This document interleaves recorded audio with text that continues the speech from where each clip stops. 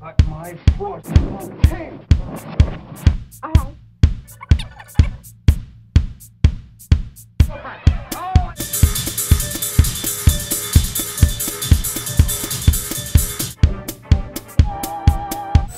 Dabei handelt es sich um ein Denken des Gleichgewichts, das in einem Kontext der Krise entstanden